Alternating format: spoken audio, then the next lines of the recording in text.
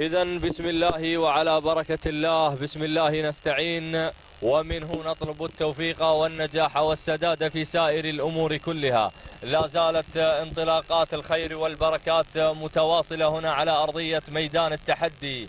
هنا اللي في المركز الأول مباشرة أنطلق مع سحابة لمحمد بن حمد بن مشيط. من تسحب الشوط في هذه اللحظات؟ ثاني المراكز تليها غاوية لإبراهيم بن حمد النعيمي مع غاوية. ولكن أرى اللي غيرت هناك من الجانب الأيمن العسيلة لمحمد بن حمد القريصي. مع العسيلة الله يا الشاعر وهذا الاسم والشعار اللامع اللي في ثالث المراكز الدخول هناك والاندفاع من هملولة لعلي بن سعيد بن جابر. آل نابت مع هملولة ولكن رابع المراكز القدوم والاندفاع من غاوية لإبراهيم بن حمد. النعيمي خامس مراكزنا يبقى هناك مع اللي قادمة هناك في خامس المراكز.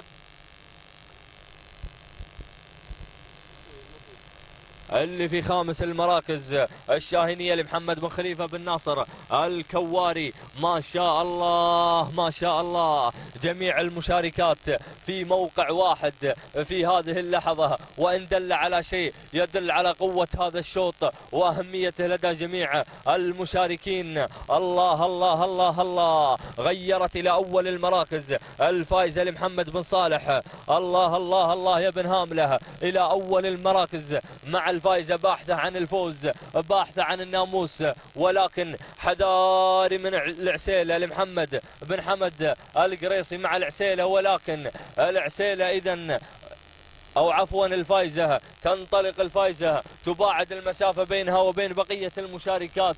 يا سلام يا سلام.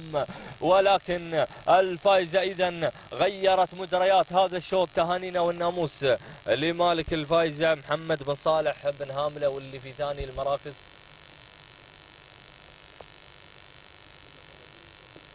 اللي في ثاني المراكز محمد بن حمد بن مشيط مع سحابة وفي ثالث المراكز. اللي في ثالث المراكز وما قصرت.